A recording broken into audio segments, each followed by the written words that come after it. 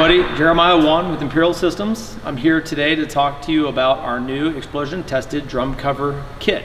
The most important things is the fact that it's been third party tested to withstand an explosion of up to 7 psi on an ST1 dust and uh, so it's just real exciting. Uh, one of the neat features about this is the fact that it's grounded.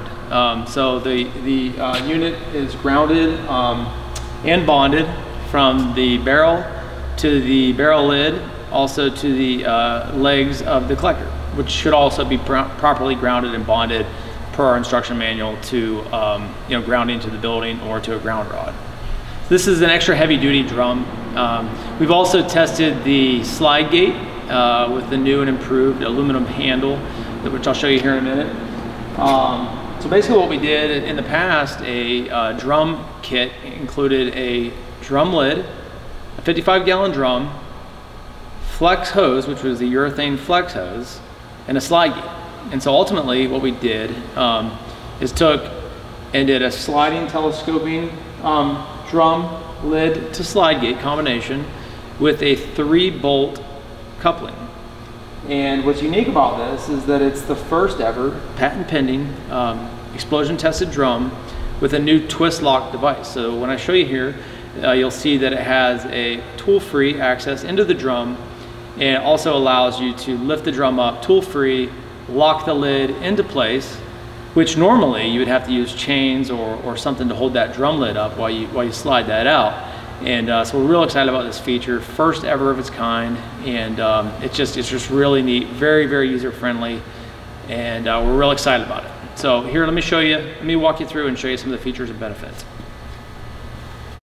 access, normally um, when you're running your dust collector, it's important to always make sure that the hopper is empty uh, from debris, anything. You don't want your filters kind of re-entraining um, the dust and the debris that they already cleaned off. So you always make sure your slide gate's open.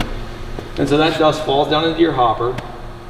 And uh, but when you go to access your hopper, if you want to leave the dust collector running, you just simply close the slide gate. What that does is that allows the fan uh, or the dust to, to settle out and the fan can still run and, and not pull air back up to the drum. So right now, the drum is isolated from the dust collector. And so the next steps would be to open the uh, drum. So how you do that on the system, very easy.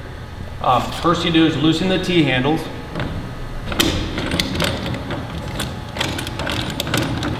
Um, in the past, you'd have flex hose or something like that that very difficult and, and uh, a little cumbersome to use.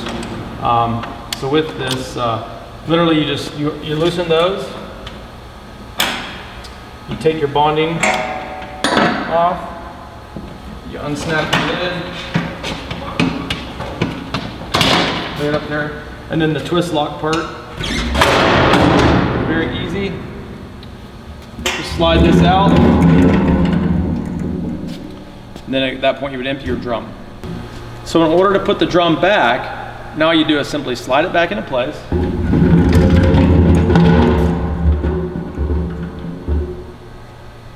Twist lock drops it down.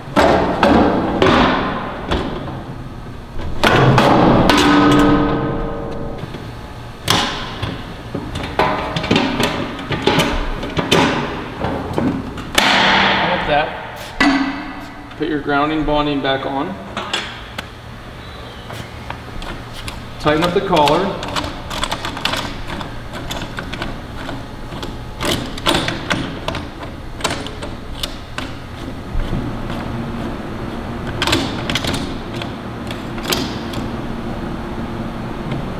Okay. At that point, you just simply slide the slide gate open. And there you have it. That's as easy as it gets.